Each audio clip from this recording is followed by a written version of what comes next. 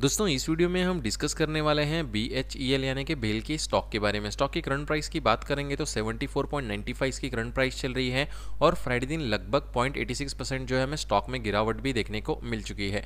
ये जो आप चार्ट देख रहे हो, हमने इसको वन डे टाइम फ्रेम में सेट कर लिया है।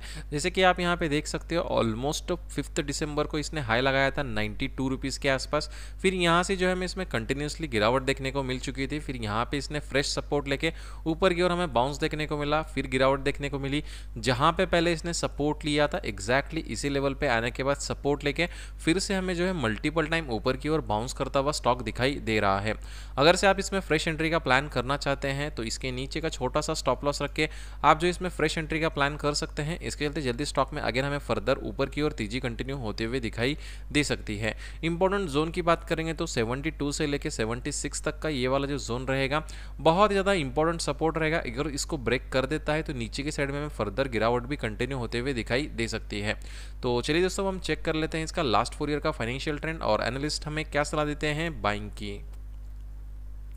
2019 से 2022 तक का लास्ट फोर ईयर का डेटा हमारे सामने शो कर रहा है। अगर हम कंपेयर करते हैं 22 को 21 के साथ में तो यहाँ पे देखिए रेवेन्यू और प्रॉफिट में काफ़ी अच्छा ग्रोथ होते हुए हमें दिखाई दे रहा है, जो कि पॉजिटिव पॉइंट है। और सबसे मेन जो इंपॉर्टेंट चीज़ होती है नोरेट फ्लैग दिखाई दे रहा है। जब भी आप कोई भी स्टॉक में लॉन्ग टर्म शॉर्ट टर्म या फिर स्विंग ट्रेड के लिए फ्रेश एंट्री का प्लान कर कर रहे हैं तो यहाँ पे एक बार टिकट वेबसाइट पर आके जो है इसको रेड फ्लैग है या नहीं, एक बार देख के ही उसमें फ्रेश एंट्री का प्लान बनाए। तो चलिए दोस्तों, हम चेक कर लेते हैं इसका फोरकास्ट एनालिस्ट हमें क्या सलाह देते हैं बाइंग की। तो दोस्तों, अभी तक आपने इंजल वन में डीमेट अकाउंट ओपन नहीं किया है तो लिंक जो है डिस्क्रिप्शन बॉक्स में दे दी है। उस लिंक का यूज़ करके आप जो है फ्री में डीमेट अकाउंट भी ओपन कर सकते हैं। ट्वेंटी एनालिस्ट जो है हमें यहाँ पे टेन परसेंट बाइंग की सलाह दे रहे हैं, जो कि हम उतनी अच्छी सलाह कंसिडर नहीं कर सकते। तो सपोर्ट के नीचे का स्टॉप लॉस को याद रख के ही इसमें फ्रेश एंट्री का प्लान करें। तो चलिए दोस्तों, हम चलते हैं एंजल वन ऐप में। दोस्तों, हम आ चुके हैं इंजिल वन ऐप में। सिंपली यहाँ से वॉच लिस्ट में आना है। वॉच लिस्ट में आने के बाद सर्च बॉक्स में हमें स्टॉक का नाम सर्च करना है। जैसे हमें बी एच ई एल का देखना है तो यहाँ पे सर्च करने के बाद उस पर टैप करके हमें वॉच लिस्ट में ऐड कर लेना है। अगेन इस पर हम टैप करेंगे। कुछ इस तरह से इंटरफेस शो करेगा। यहाँ पर आप इसकी करंट प्राइस देख सकते हो ऑप्शन चेन देख सकते हो चार्ट देख सकते हो स्टॉक की डिटेल्स भी आप यहीं पर देख सकते हो। हमने जस्ट ही चार्ट पे एनालिसिस किया है तो अभी आप बाय पे टच करेंगे।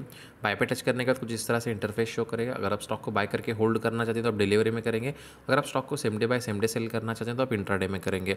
सिंपली हमें यहाँ पे नीचे की साइड में क्वांटिटी इंटर करनी है। मान लीजिए हमें 250 क्वांटिटी बाय करना है तो यहाँ पे 250 क्वांटिटी इंटर करेंगे। यहाँ पे लिमिट और मार्केट का ऑप्शन दिया है। लिमिट यानी कि स्टॉक को आप अपने मनपसंद प्राइस पर खरीद सकते हो।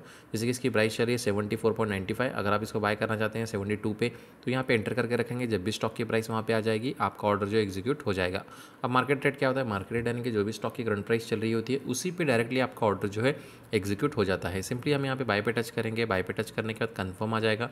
कंफर्म पे टच करने के बाद हमारा ऑर्डर जो है सक्सेसफुली एग्जीक्यूट हो जाएगा। तो दोस्तों, आज की इस वीडियो में सिर्फ़ इतना ही था। वीडियो अच्छा लगा तो वीडियो को लाइक करिए और ये जो वीडियो बनाई है, सिर्फ़ और सिर्फ़ एजुकेशनल पर्पज़ के लिए बनाई गई है। जब भी आप कोई भी स्टॉक में एंट्री बनाए तो अपने फाइनेंशियल एडवाइजर से कंसल्ट करके ही उसमें एंट्री बनाएँ। तो चलिए मिलते हैं नेक्स्ट वीडियो में इसी यूट्यूब चैनल के साथ। तब तक के लिए टेक केयर